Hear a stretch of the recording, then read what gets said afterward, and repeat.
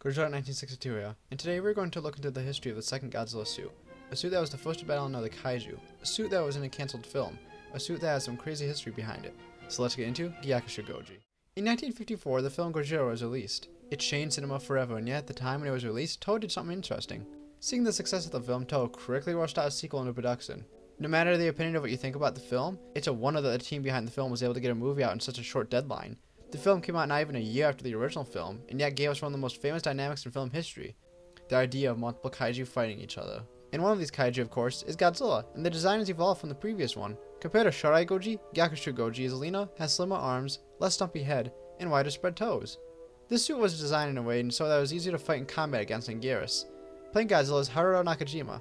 He returns to play the King of the Monsters, and thankfully, unlike the last suit, this one didn't give the same issues that Shodai Goji did. Gyakushu Goji has an interesting history with movies because unlike many Godzillas after him, he doesn't have much of a history.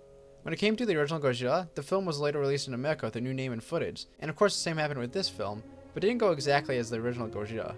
When Godzilla Raids Again was released in America, everything connecting this film to the original Gojira was cut.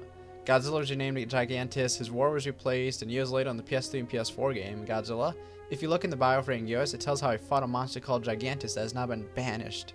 Though America wouldn't stop screwing with this iteration of Godzilla, as they would try to make their own film called The Volcano Monsters. In this film, all connections to Godzilla and Anguirus would have been cut and both monsters would have been dinosaurs. Set to be released in 1957, using special effects from Godzilla Raids Again and new footage made in America, the film would have had a Tyrannosaurus rex and an Ankylosaurus being found and brought back to San Francisco, but when the dinosaurs awaken, all hell breaks loose.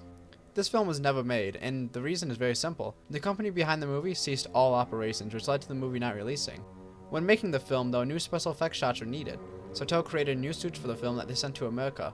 These suits are something of a mystery in the fact that, due to the film not being made, the suits were unused. But instead of being shipped back to Toho, the suits have gone missing. Now they're looking similar, the two suits made for the volcano monsters do have differences to the original counterparts. When it comes to Godzilla, he has all the traits that would be seen in the next film, such as no ears, three toes, and a thicker lower body. Gyakushu Goji only ever appeared in one more film, that being Godzilla Final Wars. If I'm not mistaken, while showing shots from Godzilla history, this one blinking you'll miss a shot shows Gyakushu Goji.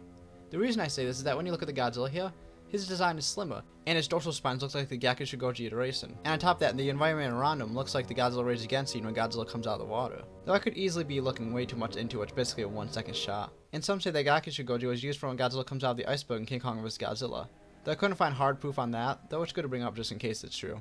Other than these appearances, Gyakushu Goji appeared in the video game Godzilla Battle Legends, which was released in 1993, and has a small selection of merchandise that can be bought, with the most recent as of this video's making, Bandai released a semi-remake of the original figure of the same design. With all this being said, what is the future for Gyakushu Goji?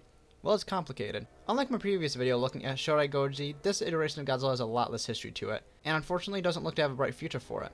Even though Bandai have released a figure based on it, they also have released a figure on Ebirah, but we don't see him in the next MonsterVerse film, do we? Gyakushu Goji is most likely to become a Godzilla that, although known by fans, will become obscure. This is something that will happen for future designs seen in this series.